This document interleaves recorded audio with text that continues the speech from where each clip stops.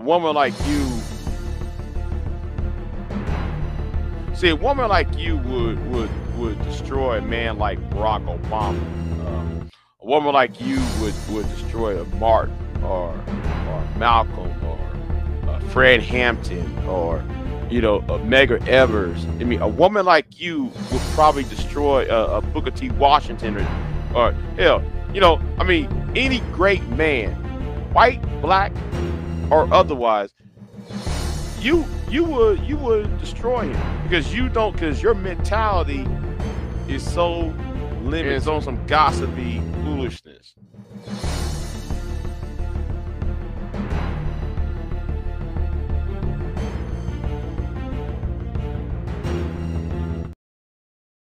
This evening. Today we were going to address a particular issue. It would seem it has come to my attention that we have hood rats that are trying to learn how to be homemakers. They have made an egregious mistake and we must address it. Now, as I read this passage from the works of the late Dr. Frances Cress Welsing from the ISIS papers,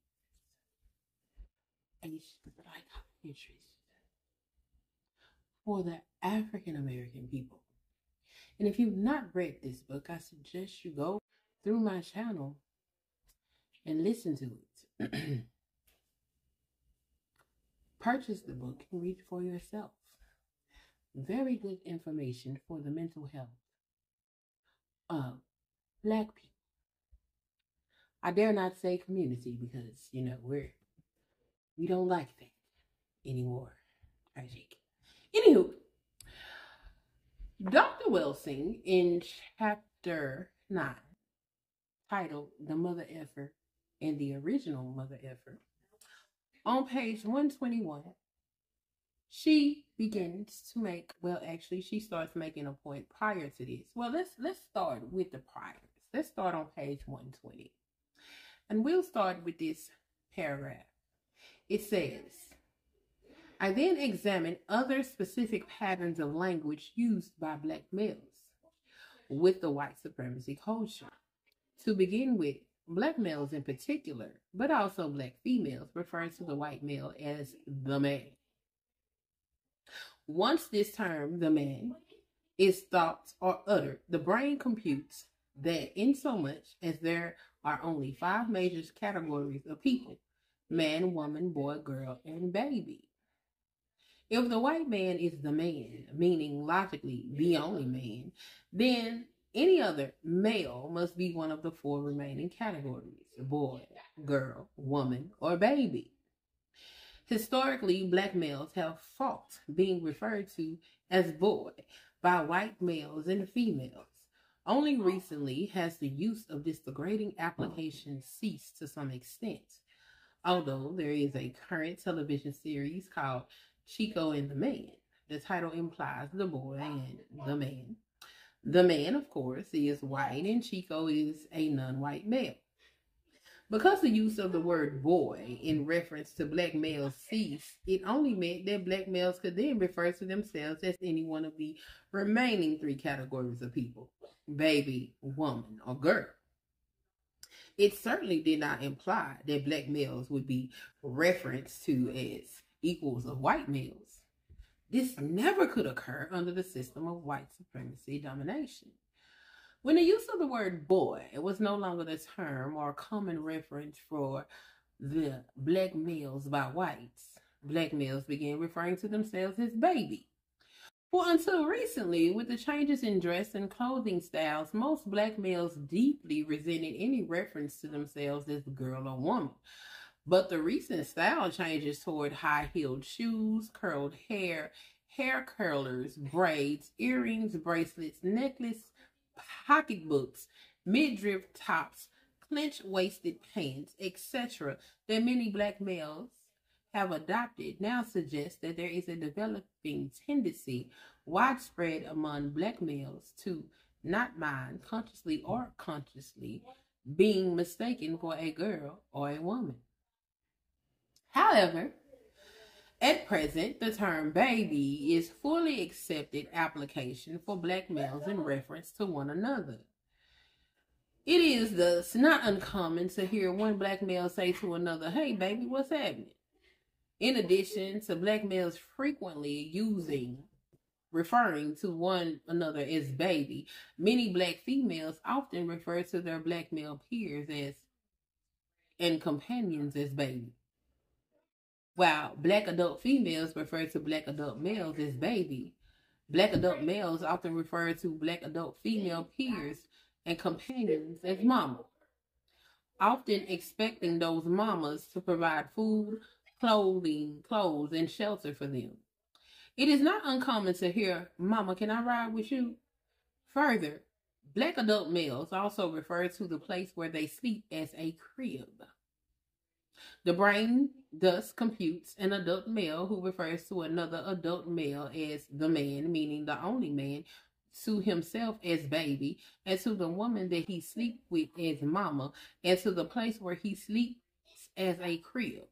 Will call himself or any black male reflection of himself a mother effer. Thus, it is clear that the origin of this specific pattern of speech begins with perhaps unconscious recognition that within the framework of white supremacy power system, it is reflecting culture.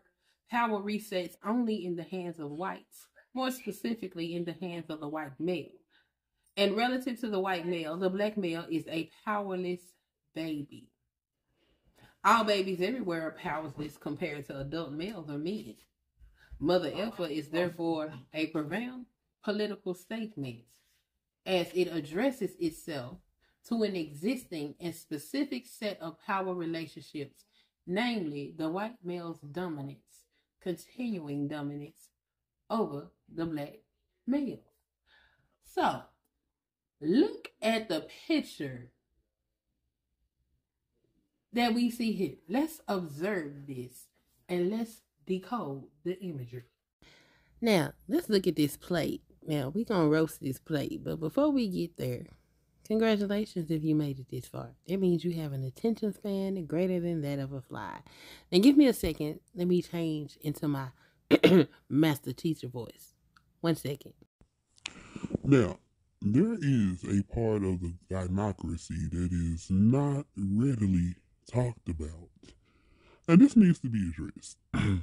you have to start addressing the hood rats of the gynocracy because, see, it's not the gynocracy per se that is destroying black men or the black male image. It's, it's the hood rats of the gynocracy.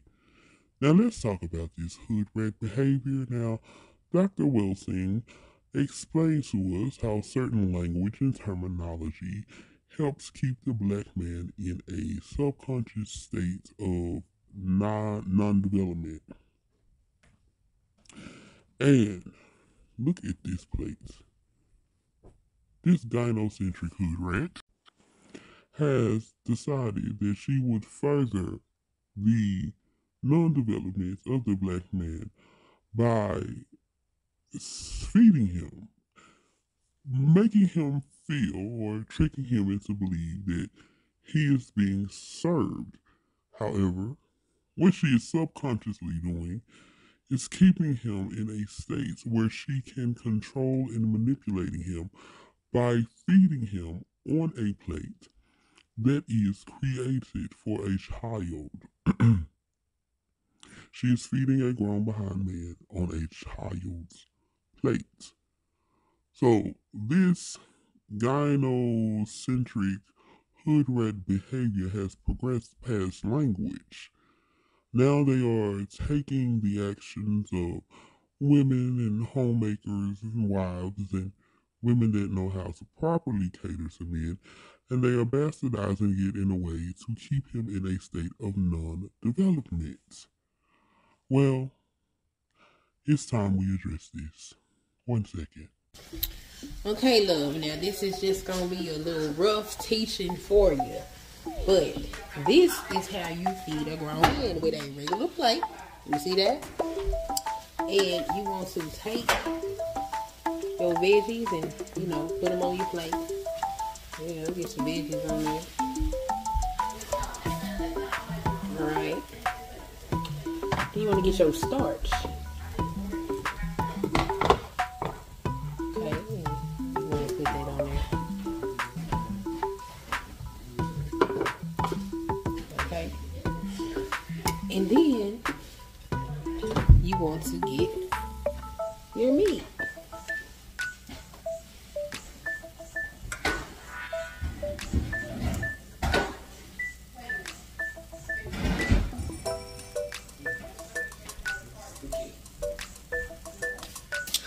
Now you want to make sure that everything is neatly separated so everybody can see what it is that they're eating. And this is how you feed a grown man. You don't feed him like he's a toddler or a baby. That is called contributing to white supremacy or systematic oppression and racism. Treat your man well treat him like a man so he can go out in the world and do man things. And this has been a lesson from your friendly neighborhood queen. Peace.